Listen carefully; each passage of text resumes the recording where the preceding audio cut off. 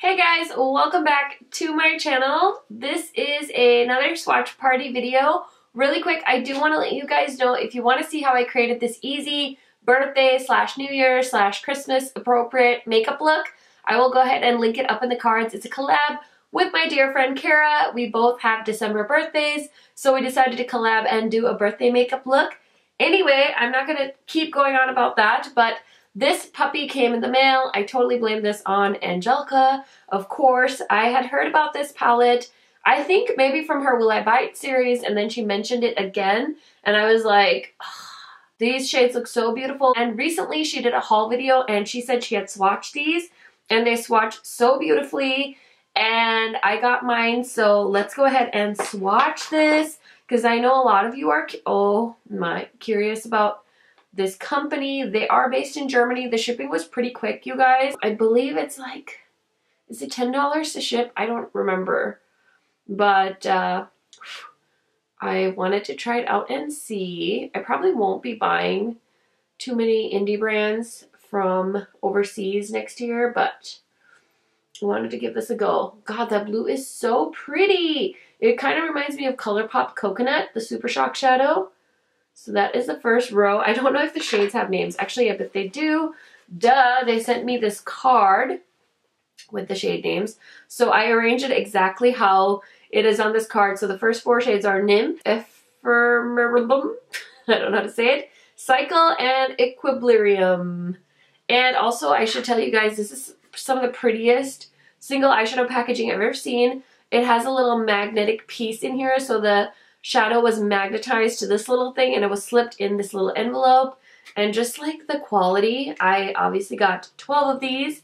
I did toss them, but I just kept one to show you guys in the swatch party video that I will now toss because I am doing swatches. But yeah, I thought that was really great attention to detail. I do wish you could kind of save some money by not getting the palette because I have so many Z palettes I could put this collection in. But it's kind of cute, so I'm not going to complain. So these rust colors are like right up my alley as far as like in the crease, you know. So I'm always happy to have that like, you know, typical brown that I, I'm sure a lot of people think is super boring, but for me it's like my favorite.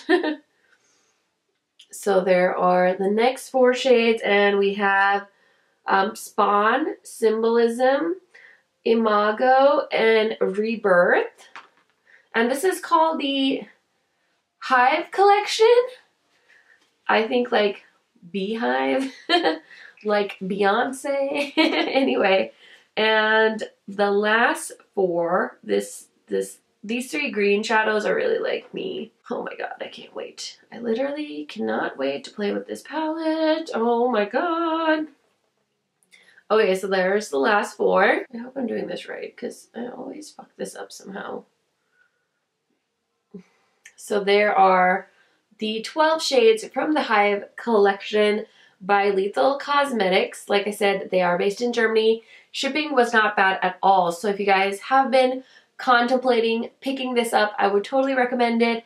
I haven't tried it on my eyes yet, but I am expecting good things after swatching it. I'm so into the pops of green, you guys. I also started a green eyeshadow palette playlist and I also finally started a pop of blue eyeshadow palette playlist so we can keep track of all these crazy pop of blue releases.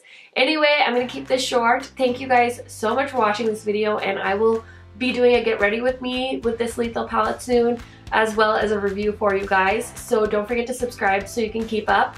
And I hope you guys are having an awesome holiday season. I will catch you in my next one soon. Bye guys.